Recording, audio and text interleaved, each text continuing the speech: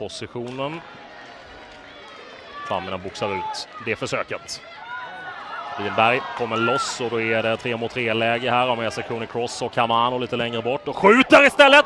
Matilda Winberg!